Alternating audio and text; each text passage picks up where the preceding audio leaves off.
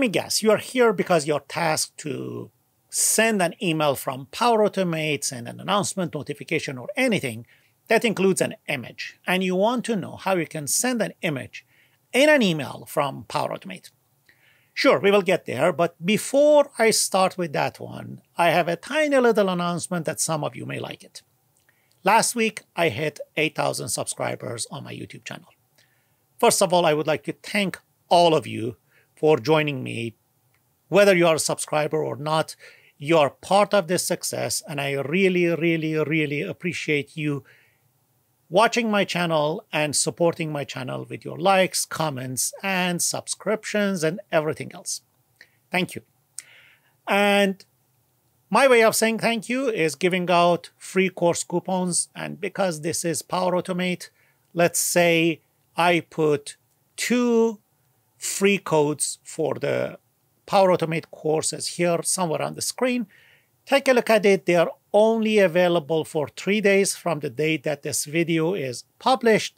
So you may want to consider being on my subscription list. So when videos like this come, you can take advantage of those coupons. Now let's get back to the topic. In this video, we want to see how we can insert an image into a Power Automate flow and send it by email. I don't want to read it from somewhere else. I want to add the image directly to the flow and then insert it inside an email and send it out. So without wasting time, let's get into it. The exciting update about our company is that James Smith is our new CEO. And from the day he started, he was insisting to put his amazing picture as a part of the email announcements that they get out of our Power Automate flow. Typical CEO. What else do you expect? Anyway, we are the poor developers that we have to follow the instructions from our CEO. We receive this file and we want to work with it. First thing that we want to do, we need to put this file inside a variable. So we just go inside Power Automate. I created a flow called James Smith image email. And inside that, I created a variable called James image. And we need to pick the type image. Uh, we don't have image, we don't have binary, object is just a JSON object. Hold on a second, Ali, are you out of your mind? There is no such a thing as image. Well, yeah, but we can put it in a string variable, but how? First of all, let me just add my email here. So send email v2, scroll down, there we go and I want to send it to myself, for example. Subject is going to be test email with image. And whatever that goes inside it, here's the thing. The send an email v2 accepts HTML text. So with all the HTML tags that we have, we can embed whatever that we want here. All right. So if this is the case, let's go back to the basics of HTML. In HTML, this is the image tag. img, we define the source, and then we put the path to the image file, no matter what file it is. As long as it's image, it perfectly displays it on the page. So basically, the HTML file or the web page that we have does not contain the image. It refers to an image that is stored somewhere else. So when the browser reads this script, it finds out that, hey, there is an image. I should go somewhere else and get that content and bring it here. Well, yes, but we can also embed the image content directly inside that HTML page. I know it grows the HTML file size, but this is the only option that we have here. The main thing is that we can have our encoding here. So basically the content that we have, it can be the actual representation of the binary content in the JPEG or PNG compression. So this is the second way we can have the SRC. We specify that this is the data, don't go anywhere else. Whatever you need, it's right here. It's not in an external file. We specify that the data is image. We specify that the format is JPEG. Even if instead of JPEG, you put, for example, PNG and the content that you encode is JPEG, still it works fine although it is slower. So basically, by putting this directive here, you are telling the browser that, hey, start compiling it as JPEG, everything is good, so you don't need to dig into the formatting and see what is going on inside it. We define it as base64, and I'm getting there in a minute. And we put all the content of the image here. The main thing is that we have to encode it. The content that we have inside the image file, inside JPEG, PNG, or whatever the format that you have, is binary content with some characters that are incompatible with HTML and JSON. That is basically the core of our Power Automate. So we need to encode it in a way that it can be preserved in an HTML page or in our JSON file. So let's say we need the encoded text representation of whatever that is inside that image file. Once we have that, well, sky is the limit. Put the style, put whatever that you want, and the browser reads the image content directly from here.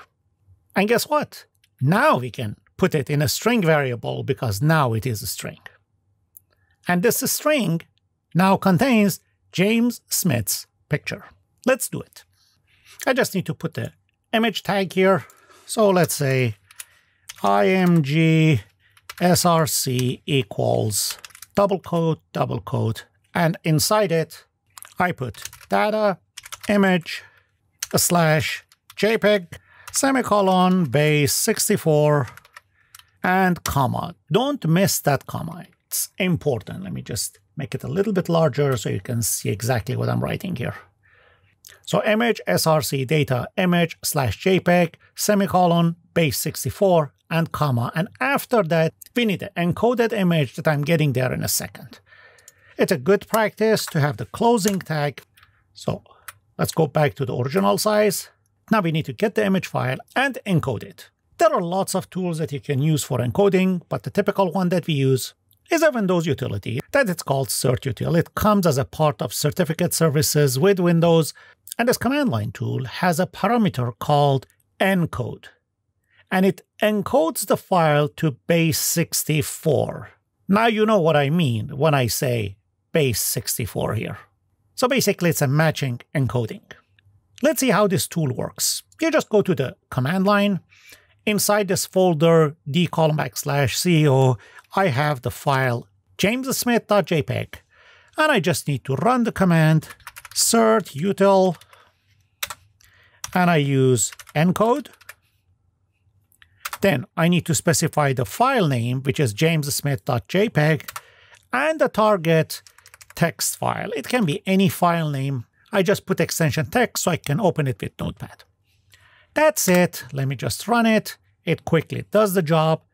And now if I go to the folder, in addition of my jamessmith.jpg, I have another file called jamessmith.txt, which contains the encoded content. Let me open it. The content inside it looks a little bit weird, but that's okay. Right after begin certificate from here, you get the content to the end certificate. I just copy this, bring it back to my Power Automate, and stick it right after this comma here. Control V. It's huge. So let me just scroll to the top. And that's it. I just collapse it and forget about it. Let me just save it. We are good. Now that we have the image, we can stick it wherever we want in the email. So let me put the content of the email here. Make it a little bit smaller. And there we go. I can say, hello, everyone. This is our new CEO. Okay. Thank you for watching. And haha. All right. I want to insert this image right here. I can put image, for example, or, or something that I can easily identify when I go to the source code. You switch into the code view pick up the location that you want to insert that image. I just take out this image. My cursor is here. I scroll down and I pick this variable that contains the James Smith image. That's it. I just save it and we can test it. Test, manually run the flow, test, continue, and run the flow. Done. Time to go inside Outlook and see what we find there. And this is our email with, okay, don't worry. You may or may not see something like this. And in this one, you got lucky that I have this error so you can see how it looks like. Our work is perfect. There is nothing wrong with it. What happens inside Power Automate, sometimes when you paste a long string inside this string variable or this initialize variable, it doesn't copy it properly. Sometimes it removes something.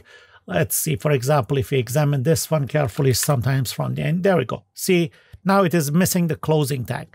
We can add the closing tag here and still it may not work. So let's give it another shot. Let me just save it. And again, I click on test, test, run flow, done. Okay, we may or may not get lucky, but regardless, I will tell you what to do. Okay, I click on this one. Still, we didn't get lucky. Still, there is something wrong there. So let's do it properly. These are the typical issues that we see with this designer. It's not your fault and it's not your approach. The way that we do is we totally avoid this stupid text editor. So I just get the beginning of my tag, which is up to here. Remember that base 64 comma. I just copy this. I bring it to the file inside this encoded file, and I just put it right in the beginning. Nothing is more trustworthy than our notepad. Again, I go to the end of the file. I don't need this end certificate. I just come here double quote, slash, and closing tag. I just mark it to the top of the page, to the beginning of IMG. Copy, I bring it back to Power Automate and I click on Edit. I delete everything inside this guy and I paste whatever that I got directly from Notepad. I just save it and now I can test it. Right? This time it must work. Because we use Notepad. And there we go. And now we have our CEO in the email. That was all about it. If you like our new CEO, just make sure you push that like button because if he doesn't see that much of love, he may stop me from creating some more videos for YouTube. Thank you for watching, and I'll see you in the next video.